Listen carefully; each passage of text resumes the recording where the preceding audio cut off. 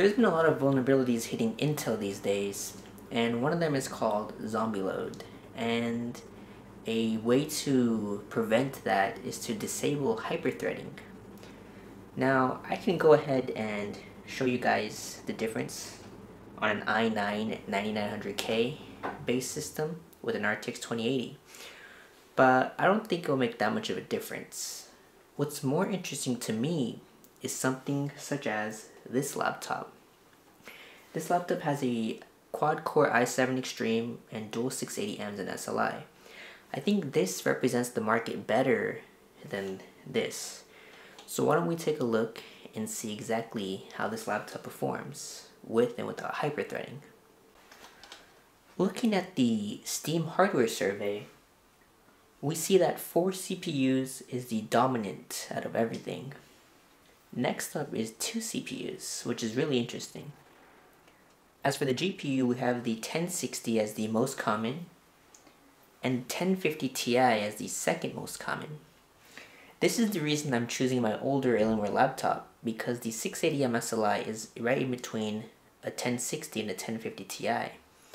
And the i7 quad-core Extreme should represent pretty close to what you get with most quad cores these days.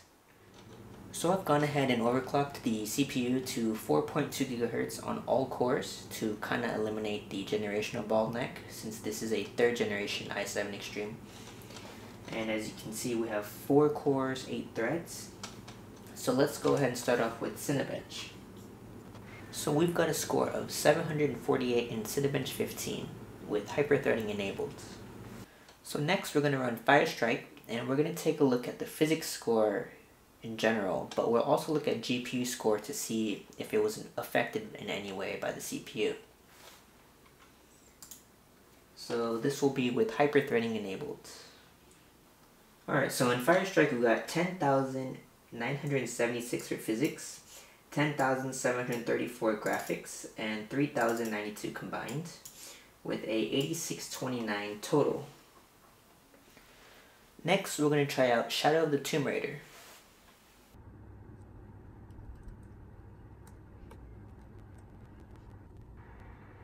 So I've gone ahead in the BIOS and turned off hyperthreading, and as you can see we have only 4 cores showing up with no extra 4 threads. So let's go ahead and see the difference in performance. Alright, I've gone ahead and started the render. Let's see how well this does.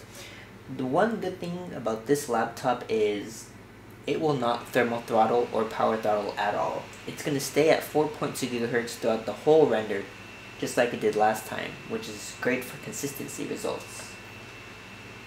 Alright, so in the video rendering test, we got 10 minutes and 26 seconds with hyperthreading, and without hyperthreading we got 12 minutes and 5 seconds.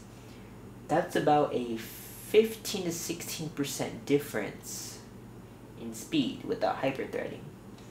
I expected this because rendering normally takes use of the extra threads, so this is not too much of a surprise to me. Last time in Cinebench uh, we got 748.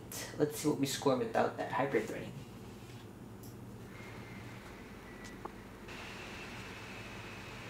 So we scored 581.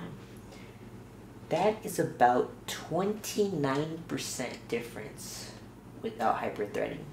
And this test shows what a perfectly optimized program would suffer from without hyperthreading. This is more like the worst case scenario. So you could expect up to probably a max of 30% performance decrease by turning off hyperthreading depending on the program. Alright, so now we're going to take a look at Firestrike again. Alright, so the results are in we got 7,782 physics score. That is a decrease of 41%. The graphics score is 10,851, which is an increase of 1%. I'd say it's within error. Combined score is so close, it's within error. The overall is 8277. That's 4% less than before. I was actually quite shocked at this physics score. That is quite the drop. So, so far 41% is the highest that we've seen in these tests so far. So let's go ahead and switch to the gaming section and see if we see any differences there. Shadow of the Tomb Raider was a little interesting. So we have hyperthreading and no hyperthreading, and both of them got 31 FPS average. Even though the no hyperthreading got a few more frames rendered. But what's interesting is when you look at the table down here. The minimum FPS was 65 for no hyperthreading and 59 for hyperthreading. But the maximum and the average was higher on the hyperthreading. 132 high, 128 high, 100 average high, and 91 average on the no hyperthreading. So the CPU is definitely doing better with hyperthreading, but the FPS overall with the GPU was around the same. And this is most likely due to my really old 680M SLI. But in this case, we can say there really wasn't much of a difference. So this is where things get a bit interesting. In CSGO, we got 225 FPS with hyperthreading and 205 without hyperthreading. So that is about a 10% increase with hyperthreading. For Battlefield 1, we got 107 FPS with hyperthreading and 91 FPS without hyperthreading. So an 18% increase with hyperthreading. Now what's interesting about Battlefield 1 was I saw the CPU spike up to about 98% usage. So we were starting to hit a CPU bottleneck but on average it was around 80 to 90% usage. With hyperthreading, I normally saw it in the low 70s most of the time for the CPU usage, so that kind of adds up. So in conclusion, hyperthreading does make a difference. In gaming, we saw a 14% increase with hyperthreading, but if you count the Shadow of the Tomb Raider, then it would be around 10%. In rendering, we saw about 16% improvement. In benchmarking, we saw 34% increase. And if we average all these numbers out, we got about 20% average increase with hyperthreading. Apple said I think it was around 40% of a performance loss, and Intel said around 7%. So this is definitely much higher than Intel's assumption or claim. And it's about half of Apple's. So I'm not sure how they're getting those numbers, but we've seen both those numbers actually if you think about it. Apple's 40% claim we did kind of reach with Firestrike. And for for Intel, I didn't really get 7% increase. I did get 10% in Counter-Strike, so I'm not sure how they're getting that number either.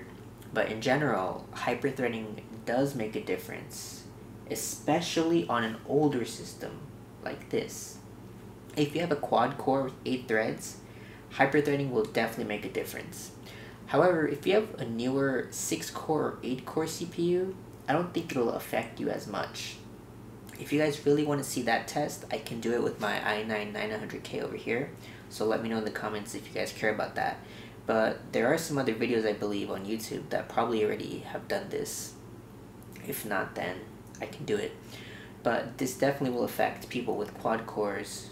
And if someone's still using dual core with hyperthreading, it will affect you probably even more. But 6 and 8 cores, or even higher than that, I don't think you'll really get much of a decrease. So definitely leave hyperthreading on if you need it, but if you don't, you can turn it off. It's really bad for Intel to have all these vulnerabilities, but it's uh, something that we gotta deal with. So, thanks for watching, and as always, subscribe, and I'll see you guys in the next one.